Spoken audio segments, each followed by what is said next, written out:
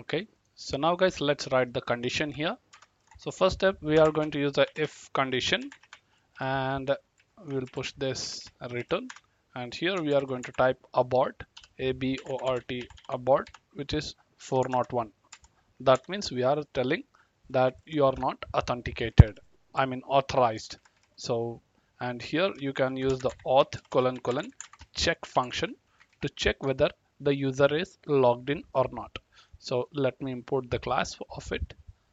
So yep we select this. Illuminate support facades auth. Let's save it. And now guys we can use this middleware inside our uh, route that is admin.php which we have already linked in the web.php now get back. And yep guys so here is a middleware. And we also have uh, uh, created the admin middleware. Let's copy this get back to your admin.php and put comma and then paste colon colon class. That's it okay? So now import the class. Okay so we have imported it.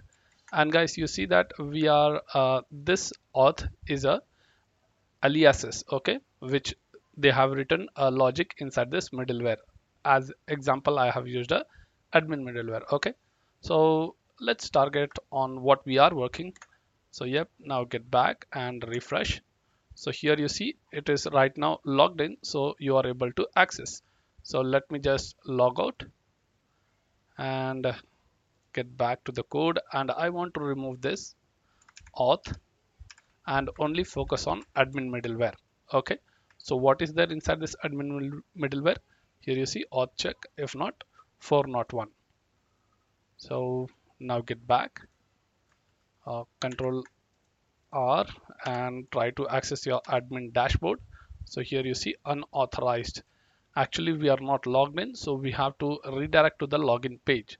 So for that you can write the if else condition here. If it is not logged in then you have to redirect him back. So return redirect function. If you want with the message you can type the message else you can just mention redirect to forward slash login url okay?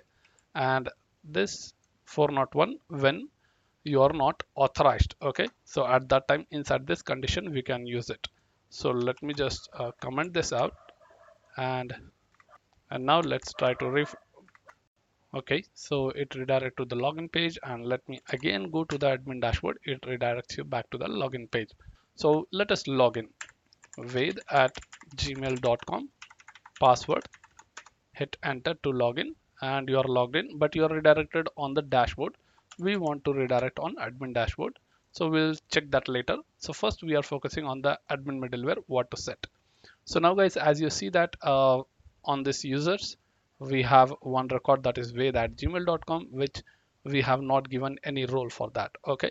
So let's give a role that ved will be as an admin so only he can log in. Else you cannot log in. Okay? So now guys let's get back. And let's write a logic here.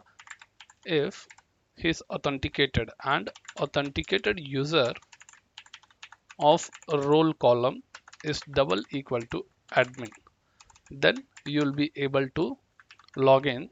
Else you'll mention that unauthorized. Okay? That's it so now guys we need a role column. So do we have or not in the user table? As you see we do not have. So for that we are going to create a migration file. Let's create it. Control plus tilde symbol. New terminal. Write a command php artisan make colon migration um, add role field to users table. Okay. Hit enter. And your migration file is created. Let's go to the database migration and here's your migration file. Cool.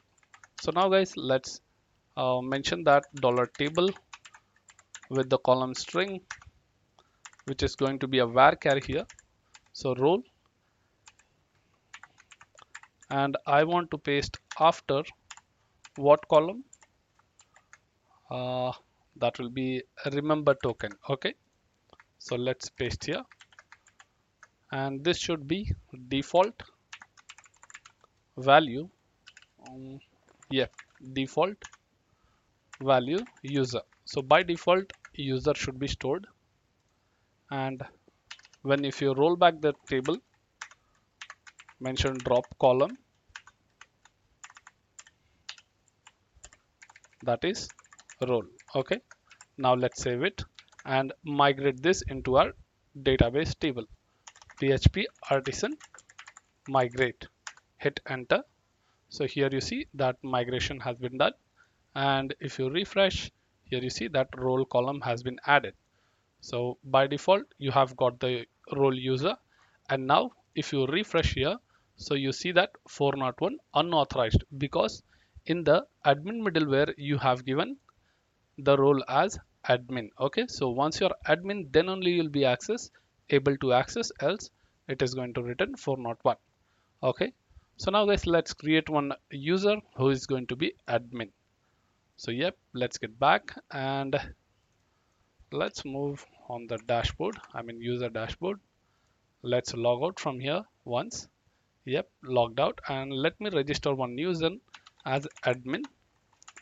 Admin at gmail.com password hit enter to register okay registered. And now let's uh, go to our database refresh the user table and here you see the second record admin. And then let's uh, change this role type as admin. So here you see that our user admin has been changed to admin role and now refresh and try to access your admin dashboard. Perfect. So you are able to access it. Done. So guys you have just learned about how to use a middleware in laravel. Okay. And here as you saw that uh, we were using auth. So if you require you can add it. Else you can ignore it because we have done the auth validation inside this uh, middleware admin middleware. Okay so yep guys. And now if you want to use this middleware in different format like as you are using this auth so for that you can go to this bootstrap and app.php and here is your with middleware which is doing your aliases. So you can just add that uh, is admin and use that. So we can use as uh, aliases. Let's copy this middleware of alias function and just give an array and here you can add is admin and mention your middleware name. So as we have already uh, available let's copy this paste here give comma and that's it. And now let's import this middleware import the class. And now you can copy this alias. So is admin copy this and get back to your middleware and paste here in single quotes. Done guys. So this is how this is admin and auth is going to be look similar. So you can use in any of the way and let's remove it. So now guys let us save and refresh here. You will get the same result okay? That's it done. So first step let's move to our dashboard. At this sidebar so we can create all the uh, fields what we require. Let's move. Let me close everything so we have a clear cut idea let's go to resource views and layouts. Inside partial we have admin. Inside this admin we have a sidebar. Okay. So this is my dashboard and this is the layout. Let's remove all this unwanted codes and more clear. So let's copy this layout from here and paste below so first step guys we are going to change this name as category. And here you can mention category I mean create category and view category. And then you have to change this bs dot target class name okay? So which is very important here. Collapse layout. So instead of layout add category so only three changes. Done. Category. And for next you can add the products or brands. So let me add brands. And let's copy this the same way and paste here. And now guys change the target names which is going to be brand. Done. And then you have to change the name here view brand and create brand. And now let's change the href urls. So just add url function in single quotes forward slash category hyphen create.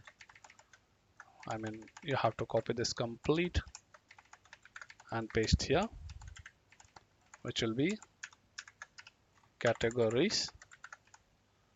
Uh, I think we have to create a clean route. So it's better we create categories category slash create and so on. For the brands also let's change it. Let's add url function. So brands brand slash create and copy it. Let's add for below also which brands okay? So now let's get back refresh and here you see that is category and brands. So let's work on this first category model. So let's get back and here you see I have mentioned a few column fields for the category. Let's get started with creating the migration first. So yep. Let me close this sidebar. Open your terminal create a migration file php artisan make colon migration create categories categories table okay? Hit enter. So your category migration file is created and here you have to add your fields. So let's add dollar table of string function and mention the what is that? UUID one. So UUID copy and paste for other fields like name slug description. So okay uh, let me just take in the second screen and let me just see and type. Okay UID name then slug description. So for this description we are going to use medium text. Done. And then finally I mean next is status. Then popular pu which is going to be the tiny integer part because we have to just check uh, true or false. So for that you can add a boolean okay? And again let's change this to string for image then meta underscore title for your SEO purpose. So this is fine. And for the description you have to change to uh, medium text itself. So here you mentioned meta description. And finally our keyword. Keyword. Done so now guys uh, let's migrate it. Php artisan migrate and our table is migrated. So you can see here in the Laravel e-commerce we have a categories table.